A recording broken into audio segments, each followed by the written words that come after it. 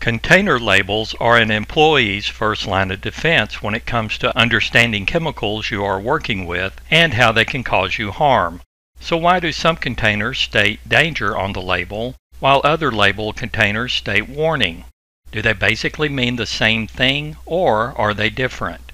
Container labels must contain specific information per the GHS format adopted by OSHA and danger and warning are what are known as signal words. These are the only two that are used in the GHS system. The signal word danger indicates a relatively severe or immediate hazard. For example, a material that could explode or burn rapidly when ignited would be marked with the signal word danger, as would a chemical that is highly poisonous. The signal word warning indicates a less severe, but still potentially harmful, level of hazard.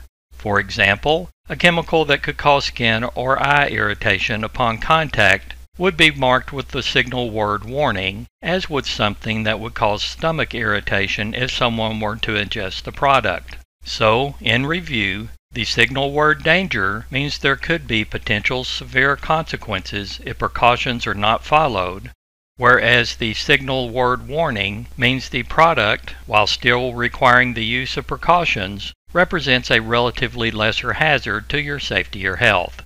So pay attention to your container labels as they are sending you a signal about the general level of health or safety hazard they present.